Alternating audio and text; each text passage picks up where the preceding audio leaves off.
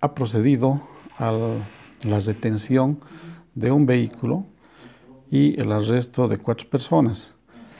El vehículo corresponde al placa de control número 3774 KCU color negro Toyota Prado. Son una concejala, un funcionario, el chofer y un dirigente del municipio de Villa Tunari, los que fueron aprendidos e imputados por delitos contra la salud, uso indebido de bienes del Estado, uso indebido de influencias, entre otros, y están a la espera de su audiencia de medidas cautelares. En este caso de delitos contra la salud y uso indebido de bienes que se ha aperturado en contra de cuatro personas que son provenientes en este caso del municipio de Villatunari. Esta comisión habría arribado a esta región para entregar frutas, alimentos a varios municipios rurales traídos desde el Chapare. Sin embargo, no contarían con permiso de circulación y habrían evadido trancas para evitar controles y usado vías alternas. Indican que han venido a repartir productos pero en ningún momento ellos han tenido una autorización de circulación. Todo aquel ciudadano que realmente está repartiendo productos,